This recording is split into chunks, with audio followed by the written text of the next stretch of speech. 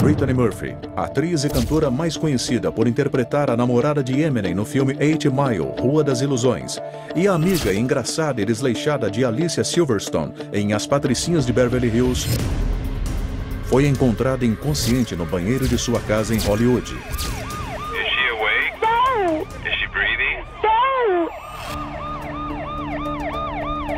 Os paramédicos levam Britney às pressas ao hospital mais próximo. Mas às 10h05, ela é declarada morta, com apenas 32 anos de idade. Hollywood is mourning the death of one of its own. 32-year-old actress Brittany Murphy died Sunday morning after paramedics were called to her Los Angeles home. Nas semanas e meses seguintes à morte de Brittany, a fábrica de boatos de Hollywood trabalhou a todo vapor. Alegaram que Brittany havia morrido em decorrência de anorexia, overdose de drogas e até que ela foi assassinada. Right now, we don't have any evidence that she was on drugs, but there's a lot of speculation about it. She's been transported to our office. We'll be conducting an autopsy. O lado fascinante da autópsia é que ela pesquisa os fatos. E seja ou não a pessoa uma celebridade como a Brittany Murphy, não tem nenhuma importância. Não existem celebridades na mesa do necrotério. Autópsia de famosos. Brittany Murphy.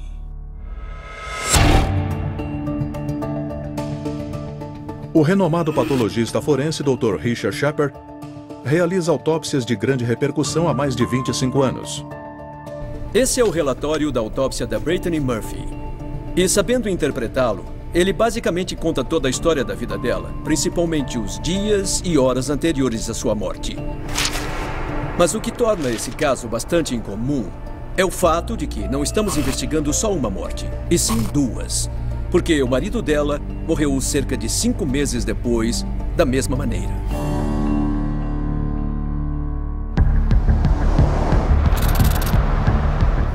Quinta-feira, 17 de dezembro de 2009. Los Angeles, Califórnia. Brittany está em Hollywood, na casa que divide com seu marido Simon Monjack e sua mãe Sharon Murphy. Ela pegou um vírus que está provocando uma tosse horrível. Nos últimos tempos, a carreira da pequena estrela de Hollywood está patinando. Relatos de comportamento excêntrico e problemas de saúde recorrentes no set prejudicaram sua reputação. Brittany acaba de voltar de um set de filmagem em Porto Rico, onde sua postura estranha levou a diferenças criativas com os produtores. Por isso, ela saiu do filme mais cedo.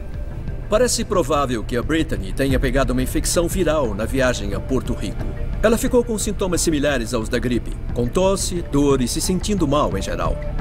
Mas a essa altura, ela não se preocupou muito. Os sintomas de gripe incomodam Brittany há mais de uma semana. Ela tem dificuldade para respirar e sente dor no peito, por isso toma uma variedade de medicamentos para aliviar os sintomas. Isso, muito bem. Desde que Brittany tinha dois anos de idade, sua mãe a criou sozinha. Angelo Bertolotti era um pai apaixonado, mas deixou a casa e a família. Ela era uma pessoa amável, generosa, enfim, era, era totalmente perfeita. E eu não admiro ela só porque eu sou o pai. Ela era ótima, gentil com todo mundo. A carreira hollywoodiana de Brittany começou quando ela tinha apenas 13 anos, participando de vários sitcoms e comerciais. Mas foi sua interpretação de uma menina comum, engraçada e desleixada, a Tai, do filme As Patricinhas de Beverly Hills de 1995, que a fez ser notada. Ela era uma atriz maravilhosa, uma atriz incrível. Ela tinha uh, muito jeito para conseguir entrar na personagem. Eu, eu acho que as pessoas não perceberam como ela era incrível. Ela era maravilhosa. Era uma estrela incrível, linda e maravilhosa. Uma estrela maravilhosa. Em sua aposta pelo estrelato nos sete anos seguintes, ela passou por uma transformação impressionante.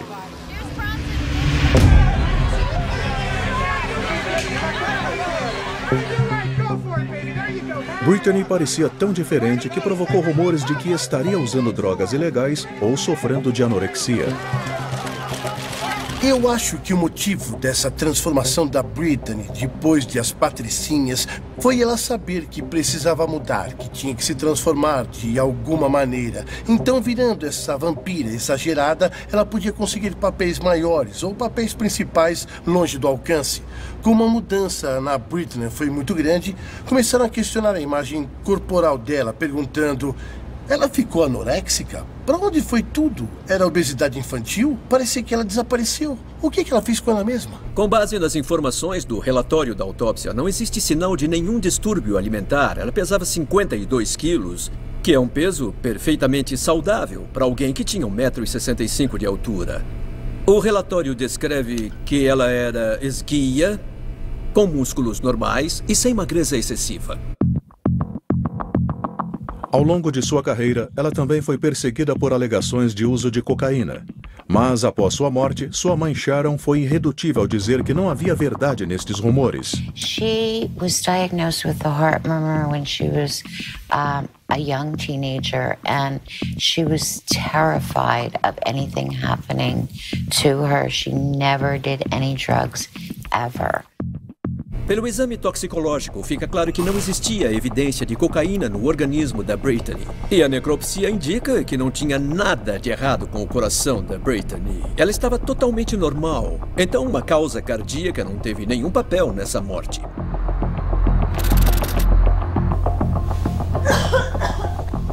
Quinta-feira, 17 de dezembro de 2009.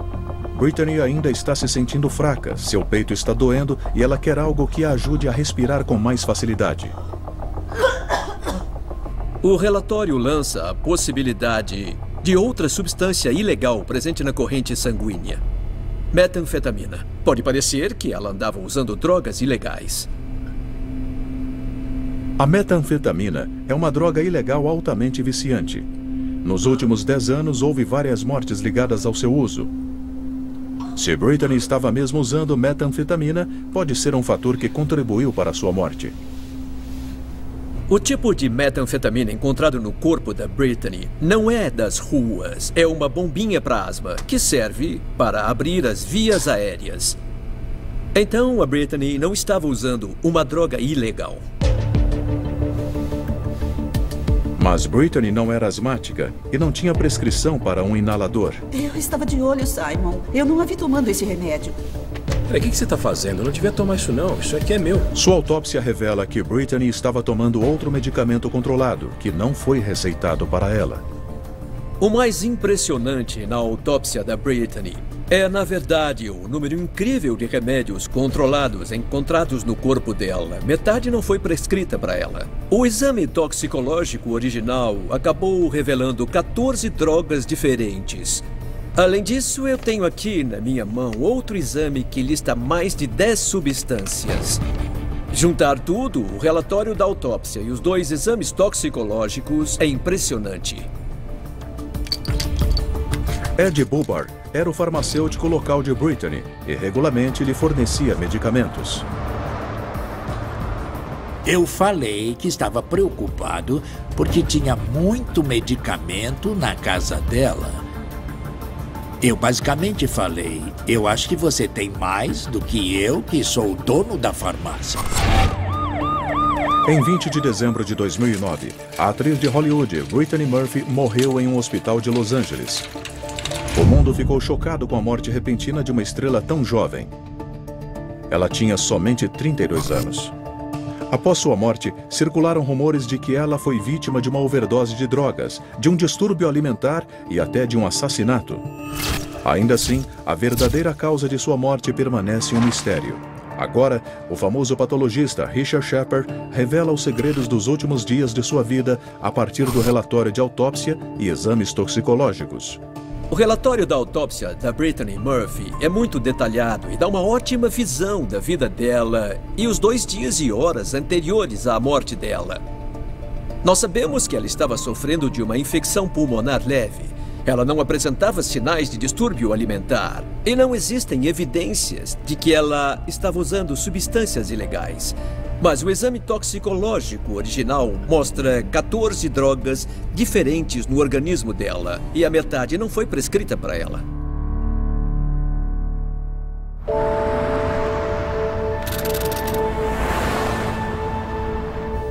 Sexta-feira, 18 de dezembro, fim de tarde. Depois de quase uma semana de automedicação em que usou remédios para a tosse e o inalador de seu marido, Brittany ainda está exausta e mal consegue sair da cama. Sua tosse está piorando e ela tem dificuldade para respirar. Então, ela liga para seu médico e marca uma consulta para segunda-feira, dois dias depois. Mas ela não vai comparecer à consulta.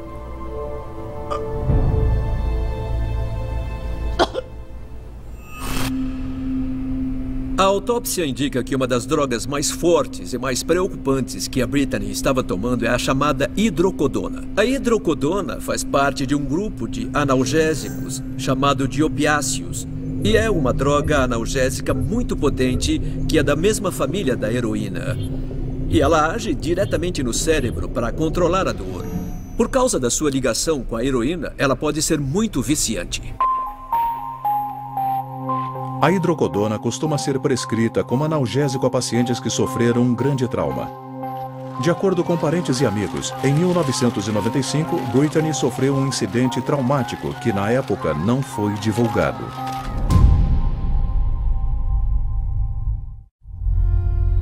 Pouco depois do lançamento de Patricinhas, ela sofreu um acidente de carro. Não foi uma batidinha na traseira, não. Foi uma coisa bem grave. Ela quase morreu e e ela ficou depois disso com uma dor, com uma dor horrível na coluna. Ela deslocou a mandíbula, fraturou a clavícula e, pelo que eu me lembro, ela quebrou umas costelas também.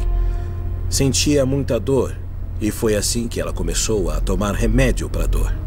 Ela sentia tanta dor que achava que não podia ficar sem o remédio. Virou o modus operandi dela. Sem remédio, eu sinto muita dor, então eu preciso disso para sobreviver. Se a Brittany machucou a mandíbula e as costas em um acidente 14 anos antes, não é uma coisa que daria para ser vista no exame necroscópico. Mas pode ter sido um motivo a mais para ela tomar analgésicos tão potentes na época do acidente.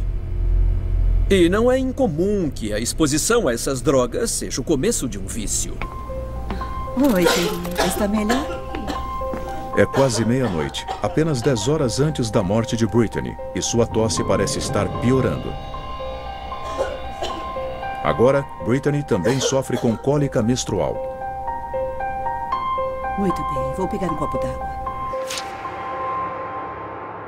A autópsia revela que a hidrocodona não foi a única substância potente utilizada antes de sua morte.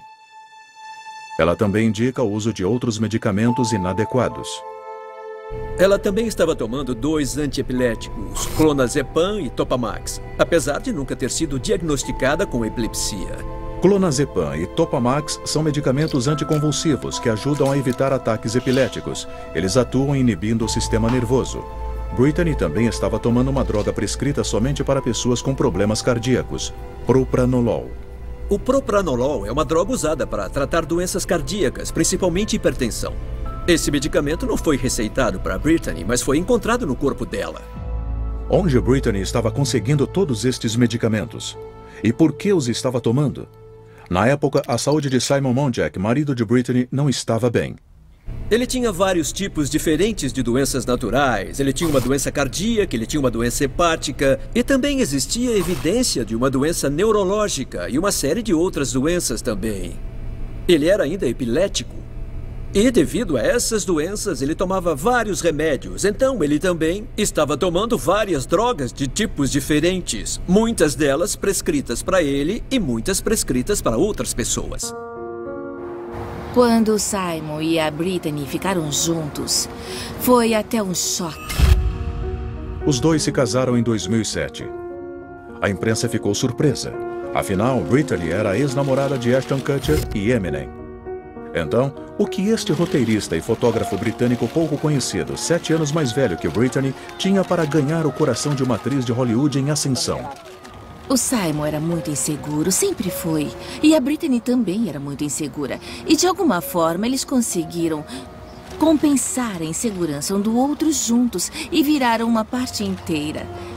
Ela amava muito a ele Olhando para as fotos de quando eles se conheceram, ele era um cara de boa aparência, chamava atenção, era muito bonito. E aí umas coisas aconteceram e ele ficou bem inchado, mesmo antes dela morrer. E ela ainda o amava, ela amava a pessoa. Brittany e Simon dividiam tudo. Sendo assim, ela poderia estar tomando outros medicamentos não prescritos em casa?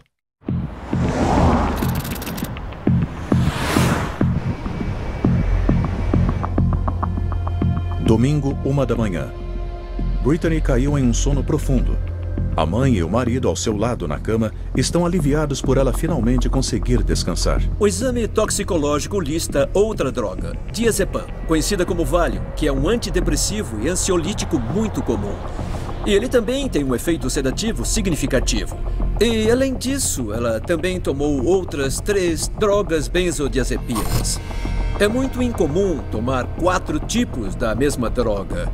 E a combinação desses quatro remédios sugere fortemente o vício em benzodiazepinas. Brittany nunca teve uma prescrição para comprar benzodiazepinas.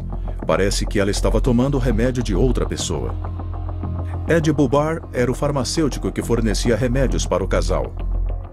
Eu me envolvi na vida da Brittany quando comecei a fornecer remédios para a mãe dela, Sharon Murphy, em 2007. Depois ela perguntou se eu podia arranjar prescrições para a filha dela. Sharon não pedia medicamento somente para si. Ela usava pseudônimos para obter remédios para sua filha. Eu acho que no meio das pessoas públicas ou de gente que quer anonimato, costumam usar algum pseudônimo, mas o nome Lola era usado com muita frequência. A casa ficou cheia de medicamentos controlados para vários nomes diferentes. A Sharon usava o nome Lola Menlow para pedir os remédios da Brittany. Brittany, também conhecida como Lola, e eu comecei a acreditar que poderia existir um potencial para abuso. Em Hollywood pode ser bem comum que as pessoas comprem remédios controlados em mais de uma farmácia. Na verdade, descobriram que a Sharon frequentava seis farmácias diferentes para pegar remédios controlados para ela, para Britney e para Simon. Apesar de ser uma prática comum em Hollywood, Ed ficou muito preocupado. Meu instinto dizia que alguma coisa ia acontecer. Quando um médico receita um remédio controlado, podemos nos enganar pensando: ah, tudo bem. Isso não é uma droga ilegal, ela é prescrita. Eu estou seguro em tomar, mas qualquer droga que colocamos no corpo tem efeitos colaterais e o potencial de causar efeitos devastadores se tomada em excesso. A mãe dela costumava tomar remédio o tempo todo e eu acho que ela acabou crescendo com essa cultura e não tinha medo de tomar um medicamento controlado. Sharon era uma presença constante na vida de sua filha. Ela ajudava Brittany em tudo, incluindo na decisão que tomou em sua carreira. Mãe e filha eram inseparáveis. Ela ficava no set, ficava em todo lugar onde a Brittany estava. E para ser justa com a Sharon, era o que a Brittany queria. Nesse relacionamento emaranhado entre a Brittany a mãe dela praticamente não se sabe onde uma acaba e onde a outra começa, porque a mãe da Brittany depois resolveu ser a empresária da filha. E realmente é um relacionamento muito complexo em que se tem a relação de mãe e filha, que devia ser de amor incondicional, e a parte empresarial, que só quer ganhar dinheiro com uma marca. Em 2003, após o sucesso de Eight Mile, Rua das Ilusões e As Patricinhas de Beverly Hills, Brittany desembolsou quase 4 milhões de dólares em um imóvel na Rising Green Road, comprando de Britney Spears a casa de seus sonhos. Em 2007, quando Britney e Simon se casaram após um romance rápido, ele também se mudou para casa, aparentemente feliz por ir morar com a esposa e a sogra. O que foi muito estranho quando Britney ficou mais velha, começou um relacionamento com Simon e depois se casou com ele, é que a mãe não saiu da casa, ela ficou. Então esse triângulo bizarro existia na vida deles. Era eu, meu marido e minha mãe. Ele tomou a decisão de se adaptar à dinâmica delas, de pertencer a elas. E o que acontece é que os três se completavam. Então ele foi engolido como parte dessa dinâmica de dependência que acontecia entre a Brittany e a Cher. E em poucas semanas, a família de três ficou cada vez mais reclusa. Eles eram acumuladores de verdade. Tinha roupas dela em todo lugar. A sala de jantar ficava totalmente coberta de roupas.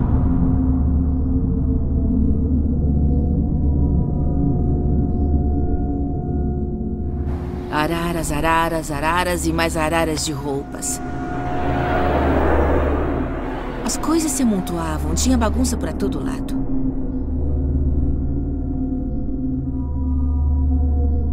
Além de viverem cercados por bagunça, algumas janelas foram seladas. Quando eu entrei pela porta, eu não senti ventilação nenhuma. As janelas estavam quebrando com o mofo.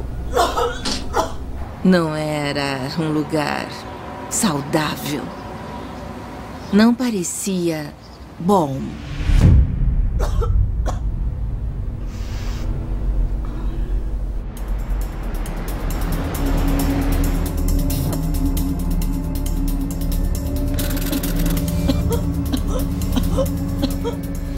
Cerca de três horas da manhã de domingo. Brittany respira com dificuldade e precisa sair do quarto mal arejado.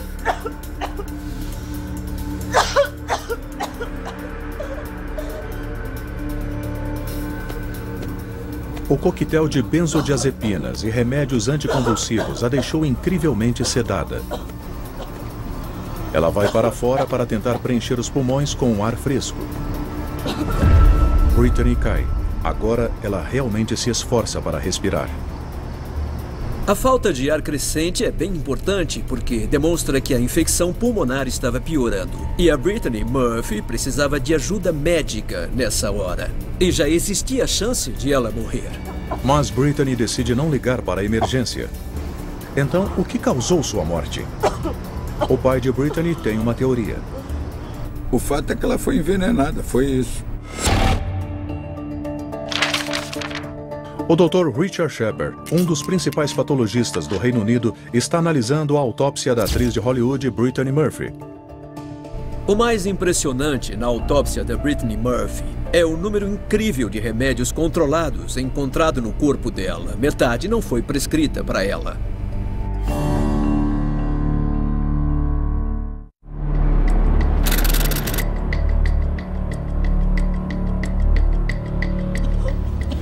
Aproximadamente 3 da manhã, domingo 20 de dezembro de 2009.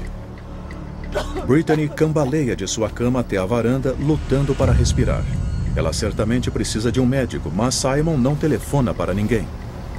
Ai, filha, se apoie em mim. A Brittany estava tão sedada que é bem possível que nem o Simon nem a Sharon tivessem ideia de como ela estava doente. Pode ser o motivo de eles não terem chamado uma ambulância. Ao longo dos meses anteriores, Brittany dizia com frequência que estava doente.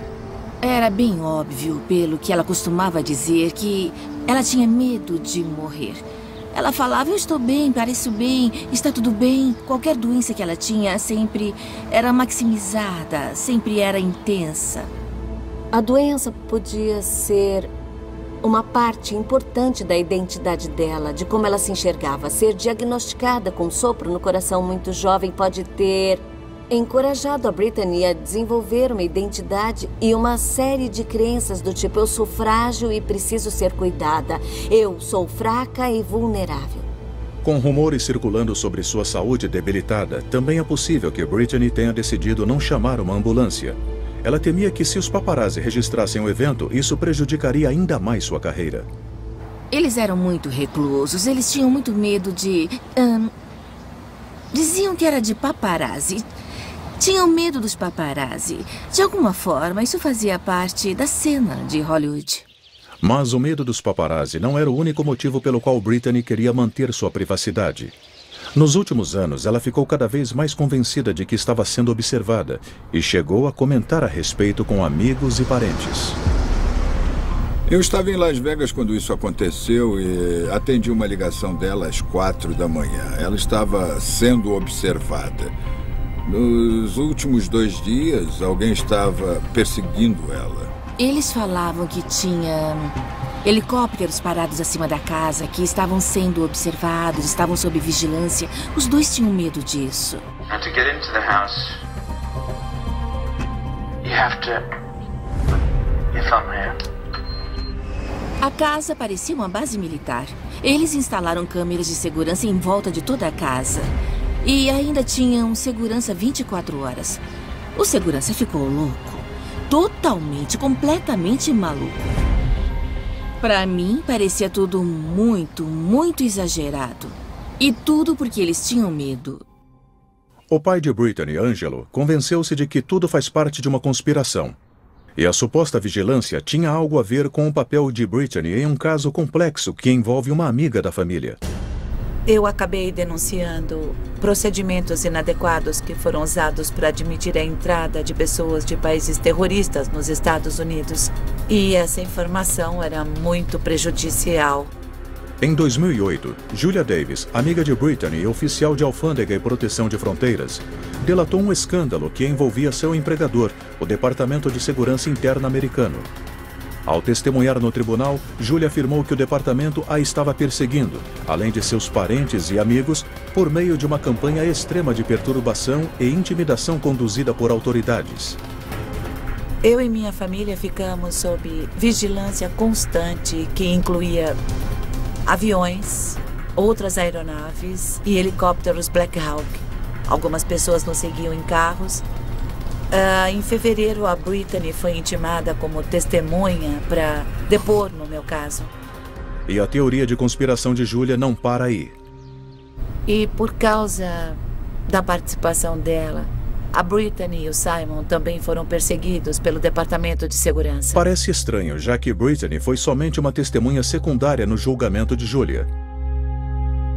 Mas Julia e Angelo acreditam que o caso pode ser vital para explicar sua morte. O legista, na época, não fez um exame completo. O que ele fez foi varrer tudo para debaixo do tapete. Quando a Brittany morreu, eu li todos os sintomas que ela estava sentindo e pareceu um envenenamento. Angelo e Julia acreditam que os sintomas exibidos por Brittany, vômito, dor abdominal e dificuldade para respirar, são os mesmos de uma vítima de envenenamento criminoso. Angelo solicitou um novo exame toxicológico que procurava especificamente venenos no cabelo da filha. O resultado foi potencialmente extraordinário. Eu tenho aqui o exame toxicológico que foi solicitado pelo pai da Brittany Murphy. Superficialmente, ele é bem assustador.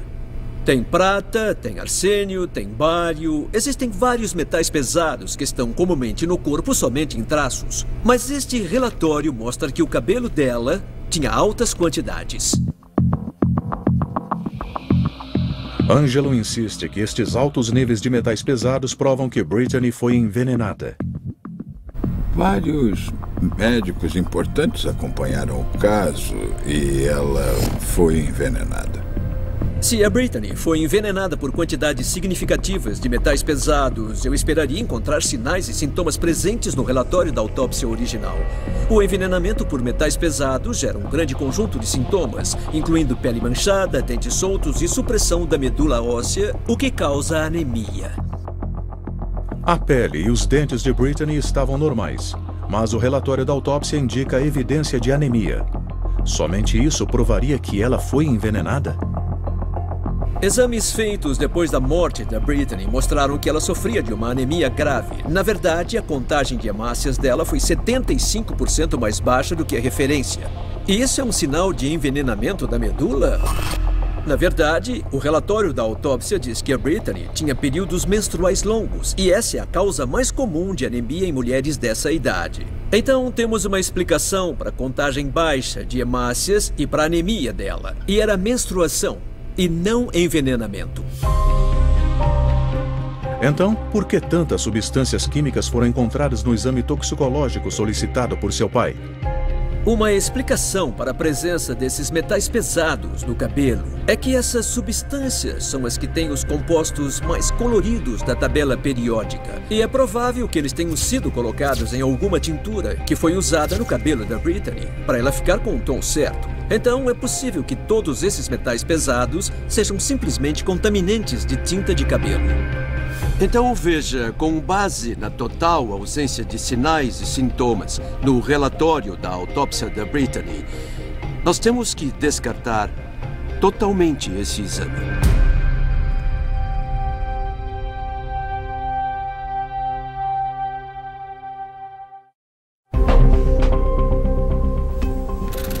Sete e meia da manhã de domingo.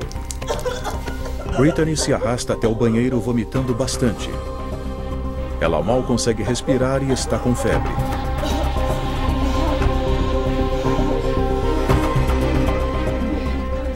Ela pede um abraço para a mãe e desmaia em seus braços. Simon, ela desmaiou! Simon! O que foi? Ela desmaiou! Ai, meu bebê! Brittany! Brittany! Simon tenta despertá-la, mas Brittany não responde. Então, ele tenta acordá-la debaixo do chuveiro. Mas Brittany continua inconsciente. Sharon chama uma ambulância. O operador da emergência pede que Simon e Sharon façam a reanimação cardiopulmonar em Brittany. Her now? Yes, sir. Okay, listen to her, her mouth and check for food or vomit. Do up tons of stuff. Is there- She's, she's, they're doing, doing mouth to mouth. Okay, Please. okay. Someone coming. We're going to send somebody out there, okay? Is she awake? Please, no. Is she breathing? No. Somebody's doing mouth to mouth? Yes. Quando os paramédicos chegam oito minutos depois, às oito e nove, têm dificuldade para encontrar seu pulso. Então, eles também tentam a reanimação. Sem sinais vitais, Brittany é levada às pressas ao hospital. Às 8h38, ela chega ao pronto-socorro com parada cardiorrespiratória. As tentativas de reanimação se provam inúteis. Brittany Anne Murphy Monjack é declarada morta às 10h05 de 20 de dezembro de 2009.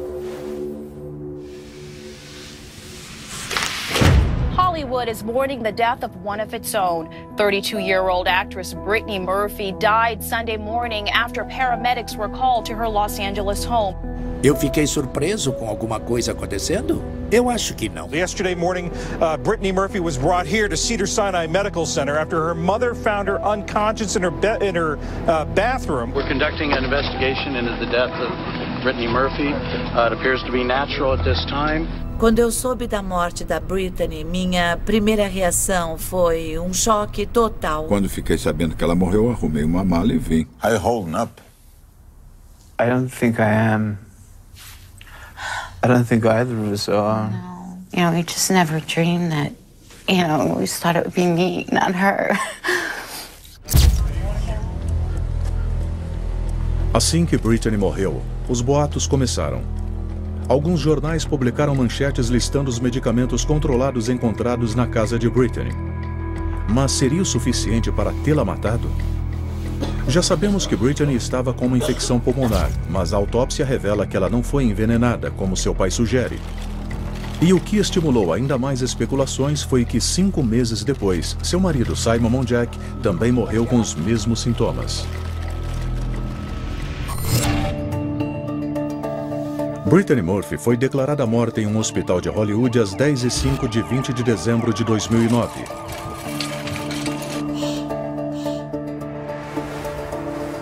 A investigação que o Dr. Richard Shepard conduz na autópsia de Brittany estabeleceu que foram encontrados 14 medicamentos controlados diferentes no organismo da atriz de Hollywood.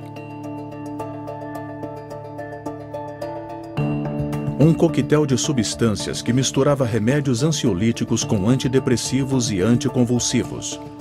Além disso, ela também tomou remédios para tosse e analgésicos. As drogas podem ter um efeito muito benéfico, mas também têm efeitos colaterais. E misturá-las significa que esses efeitos colaterais podem se combinar e ficar fatais. A evidência médica indica que Brittany estava combatendo uma infecção pulmonar. Mas a imprensa especula que ela morreu de um ataque cardíaco induzido por drogas. A autópsia mostra que, na verdade, não tinha nada errado com o coração da Brittany. E a Brittany não tinha usado drogas ilegais. O pai de Brittany, Angelo, acredita que ela foi envenenada. Todos esses metais pesados são simplesmente contaminantes de tinta de cabelo. Outra teoria apresentada pela mãe de Brittany, Sharon, liga sua morte ao mofo que estava presente na casa quando sua filha a comprou.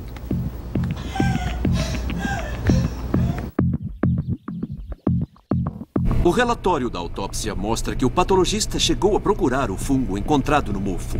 No próprio quarto do casal, onde os dois passavam tanto tempo, as janelas ficavam travadas e não tinha nenhum tipo de ventilação. O mofo que estava crescendo perto da janela era realmente horrível. Aquilo tudo era sufocante. Era como se o lugar não fosse saudável, sabe? O relatório da autópsia indica que nenhum fungo foi encontrado, nem na corrente sanguínea, nem nas amostras do pulmão que examinaram no microscópio. Então, o mofo e o fungo não desempenharam um papel direto na morte da Brittany, mas viver em casa nessas condições pode ter tido um efeito debilitante e contribuído na infecção e na morte. Isso explicaria a falta de ar de Brittany quando ela saiu para a varanda. Ela precisava de ar fresco enquanto tentava tossir a bactéria que estava em seu corpo. Mas a infecção pulmonar de Brittany foi o que a matou? Nós sabemos que tinha um coquetel de drogas no sangue da Brittany. Eram as quatro benzodiazepinas e também dois remédios anticonvulsivos. Juntas, essas drogas podem reduzir de modo crítico a habilidade do corpo de oxigenar o sangue e, em doses altas, podem se combinar e interromper a respiração. Mas é pouco provável que estas drogas, isoladamente ou combinadas, tenham sido a causa da morte de Brittany. No entanto, a péssima condição em que ela decidiu viver claramente debilitou seu organismo, mas não a matou. Exames realizados na autópsia provaram que a bactéria que entrou nos pulmões da Brittany era a chamada Staphylococcus aureus. É uma bactéria normalmente encontrada na pele, que está presente no nariz e nas orelhas, praticamente o tempo todo sem causar problemas. Essa também é a bactéria que causa o pus na acne. Parece bem provável que a progressão foi a seguinte. A Brittany pegou a infecção viral que danificou a mucosa das vias aéreas e os pulmões. Isso permitiu que o estafilococcus, que está presente em todo o mundo, entrasse nos pulmões e causasse uma pneumonia grave. Isso tem vários efeitos e causa microabscessos nos pulmões. E por causa da infecção e da inflamação, os pulmões não conseguem fazer a troca gasosa o que significa que o doente fica com falta de ar, se sentindo mal. Aí ele tosse ou pode tossir um muco que está cheio de pus. É claro que sabemos que outros fatores estavam afetando ela. Ela tinha uma infecção pulmonar aguda grave e aparentemente vivia em condições ruins.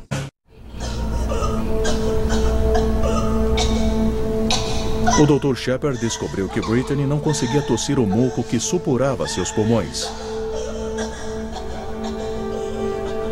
O relatório da autópsia mostra que a Brittany estava tomando remédio para tosse.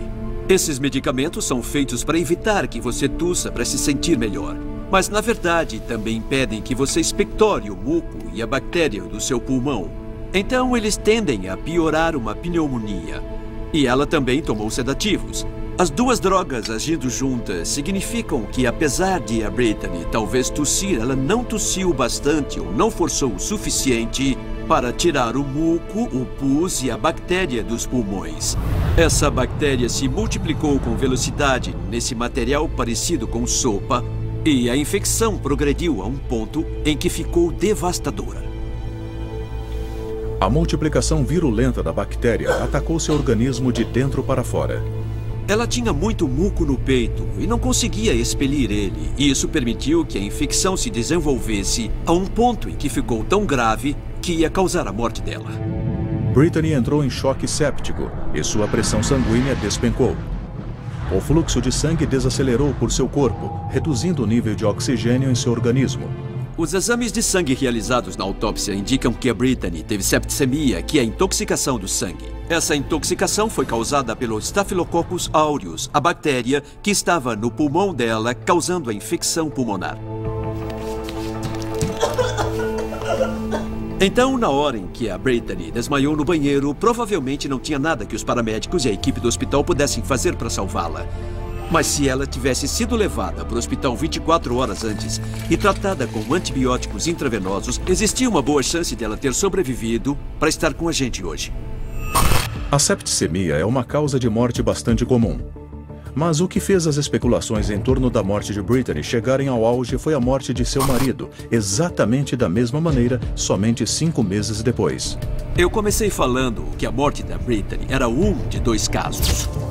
Após a morte de Brittany, Simon continuou morando no imóvel da Rising Glen Road com sua sogra Sharon. A casa permanecia bagunçada e Simon ainda comprava uma vasta gama de remédios controlados para suas doenças. Alguns prescritos para ele, alguns não. You wake up in the morning, and it's like a rebirth. You wake up, and I reach out to touch or hold my wife, and she isn't there. Entre o tempo em que a Brittany morreu e o tempo em que ele morreu, foram cinco meses. Eu vi uma grande mudança nele. Ele ficou cada vez mais debilitado e doente. Eu olhei para ele umas quatro semanas antes dele morrer e eu vi olhos mortos. Não tinha nada neles. 23 de maio de 2010. Eu liguei para o Simon e ele não estava nada bem. Eu fiquei muito preocupada, muito preocupada nessa hora. E quando eu liguei de novo, falei com a Sharon. Eu disse: Eu estou muito preocupada, Sharon. Eu acho que ele está muito doente. E eu queria que você ligasse para a emergência ou para um hospital. E repeti que estava preocupada. Ela disse: Não, não, ele está bem. Não queremos os paparazzi aqui. No entanto, poucas horas depois, Sharon ligou para a emergência. Mas na hora em que os paramédicos chegaram, Simon já estava morto. Três horas depois, ela me ligou chorando e falando que ele morreu. It's a very sad day for uh, Miss Murphy. Uh, in less than six months, she has uh, suffered a double loss. Quando uma autópsia foi realizada no corpo de Simon, descobriram que ele também havia morrido devido à mesma infecção bacteriana de Brittany. O Simon era um homem extremamente doente. Eu estou com o relatório da autópsia dele aqui. Ele também tomava várias drogas de tipos diferentes. Muitas pessoas que conheciam Simon não acreditavam que era uma coincidência. Quando Simon morreu, foi coincidência demais. Duas pessoas morrendo no mesmo lugar, nas mesmas condições. É matematicamente impossível que esses dois morressem exatamente da mesma forma. Quer dizer, é quase impossível. Mas para o Dr. Shepard, não há nada estranho nesta morte. Duas pessoas próximas morrerem da mesma doença é incomum. Duas pessoas com estilos de vida similares é mais comum. A combinação de um coquetel de drogas controladas, infecção pulmonar e o ambiente em que eles moravam levou sem dúvida à morte desse casal adorável.